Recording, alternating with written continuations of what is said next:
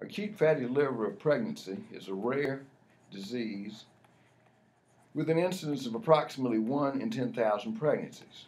High, high maternal and fetal mortality rates of as high as 75% have been reported in the past.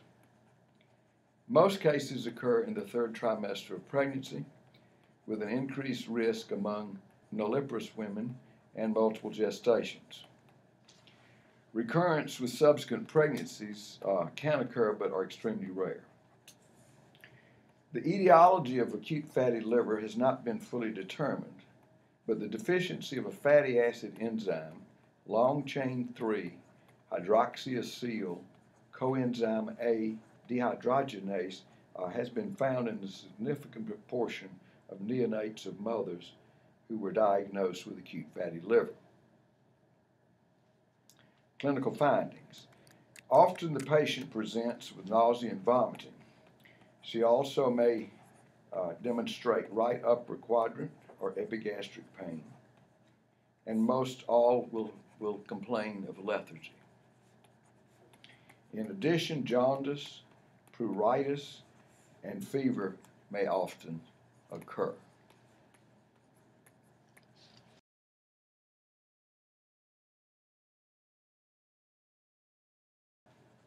Commonly elevated blood pressure and proteinuria are present, confusing the diagnosis of acute fatty liver with preeclampsia.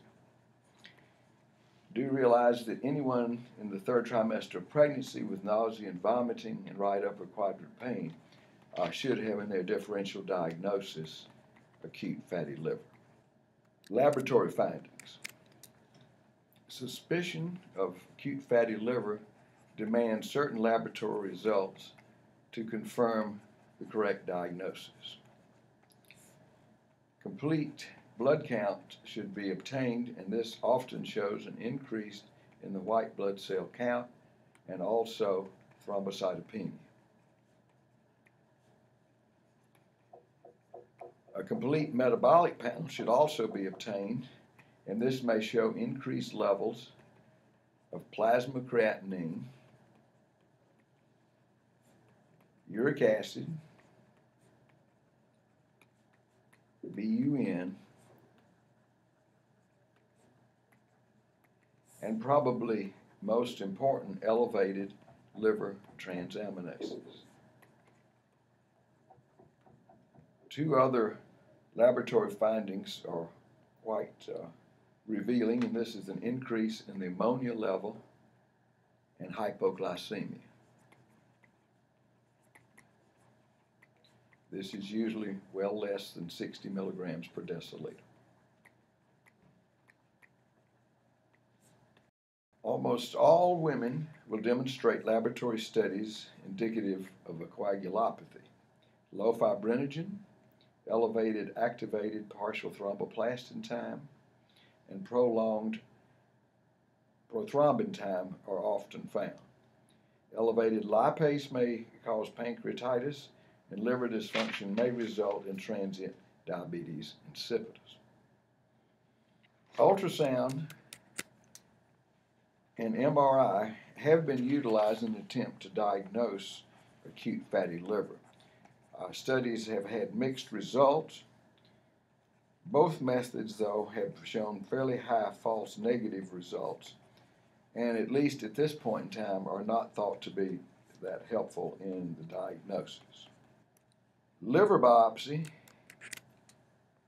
has been suggested, suggestive as the gold standard for diagnosing of acute fatty liver with the findings of fatty infiltration of the hepatocytes with nuclear sparing and absence of necrosis and inflammation.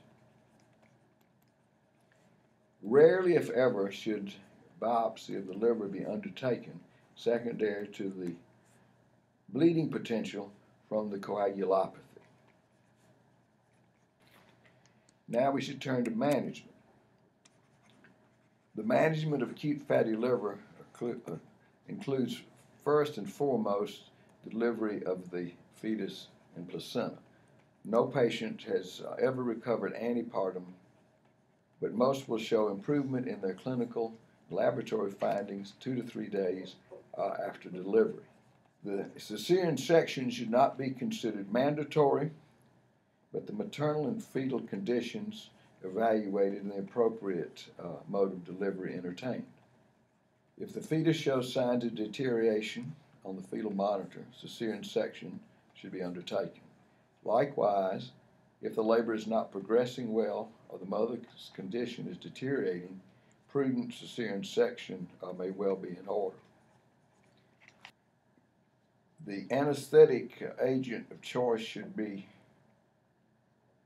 compatible with the disease of acute fatty liver. No uh, general anesthetic uh, which causes hepatotoxicity should be utilized. If conduction anesthesia is chosen, certainly correction of the coagulopathy with appropriate blood components is necessary before placing the epidural. Prior to labor induction or cesarean section, the patient and fetus must be monitored carefully. Intravenous glucose containing fluids should be instituted uh, to correct the hypoglycemia. Protein intake should be restricted and neomycin considered to reduce the ammonia level.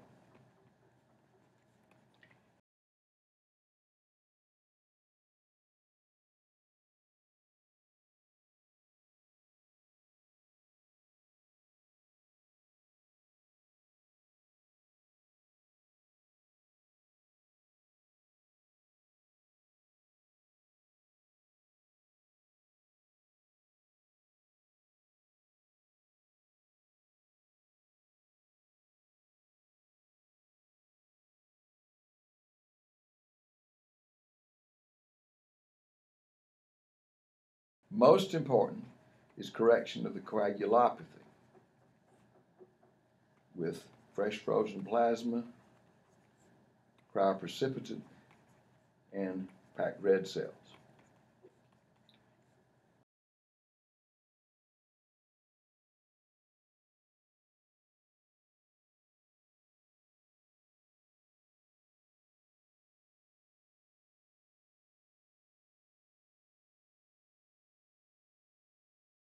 Prophylactic H2 blocking agents may also be used which will reduce the chance of gastrointestinal bleeding.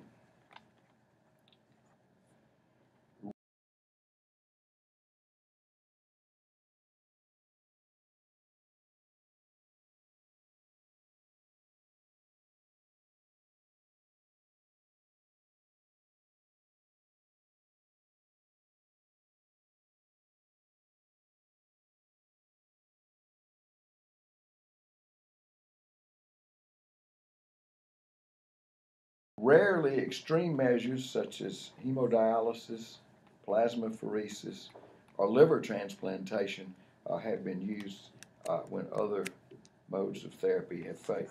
In conclusion, acute fatty liver is a life-threatening condition demanding a correct diagnosis, stabilization of the patient, and timely delivery to improve outcome for mother and fetus.